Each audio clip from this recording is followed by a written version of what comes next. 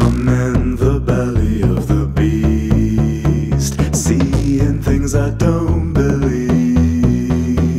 Fed up but trying to explain away something I'm supposed to feel, and I can't understand how it got out of hand when I was trying not to give it away. So I try and I burn.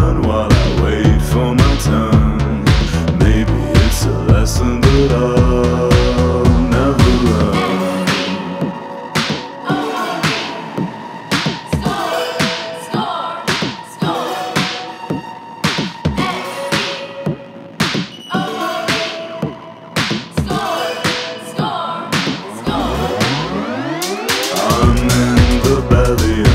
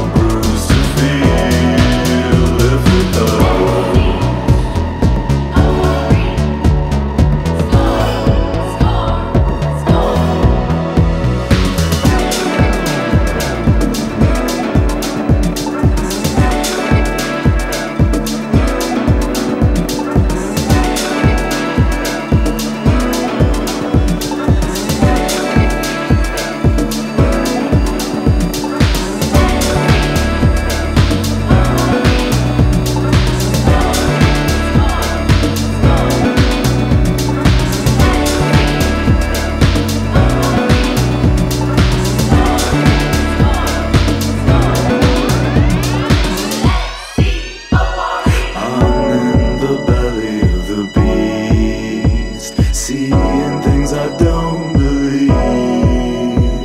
Fed up trying to explain away Something I'm supposed to feel. And I can't understand how it got out of hand When I was trying not to give it away. So I try and I burn while I wait for my turn. Maybe it's a lesson